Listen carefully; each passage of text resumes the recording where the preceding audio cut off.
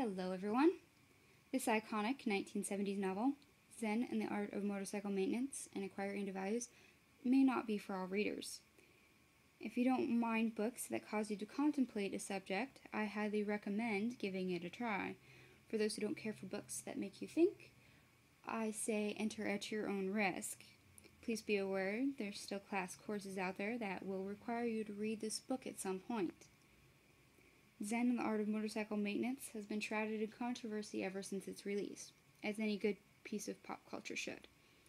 Many points within the book are the cause of this controversy, but the main one are statements made about our approach to determining truths. The very foundation of what we call science was called into question because of the contents of this book. The book itself is written in the first person narrative. It feeds the reader our narrator's opinions. As a reader, It'll be your job to separate facts from biased statements and interpret who's the real villain of the story. On a cross country motorcycle road trip with his son, our narrator begins to tell us of a ghost, a ghost whom he calls Phaedrus. Phaedrus, we're told, is a teacher from Montana, a very logical man who chased after an idea he came to believe was prudent for all society to know quality. He believed that quality reigned over all scientific thought and shaped our perceptions of reality. Thinking applying a definition to this revelation would limit it, ruin it by the trappings of society, he sought to bring the concept to light unhindered. After years of learning and pursuing the subject, Phaedrus finds himself at the University of Chicago studying the great Greek philosophers.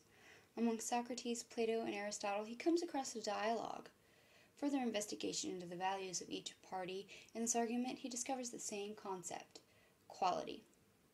No, his idea of quality was not new, but thousands of years old.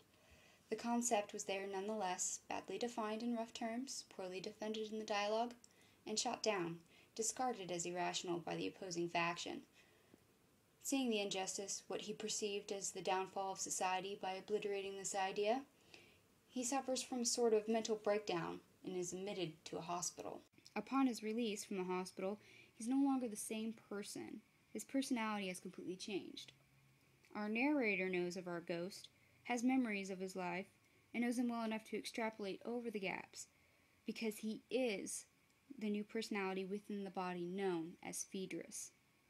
The dreams the narrator has of fighting himself is a space within the body's mind where these two personalities meet and interact. The confrontation with Chris at the end of the book is the death scene of our narrator's personality, where Phaedrus reemerges from the depths of this split personality or form of schizophrenia. I hope this brief overview has shed some light on the context of this book, and now I'll leave you with a quote that you may find from within it. What you've got here, really, are two realities one of immediate artistic appearance and one of underlying scientific explanation. And they don't match, and they don't fit, and they don't really have much of anything to do with one another. That's quite the situation. You might say there's a little problem here.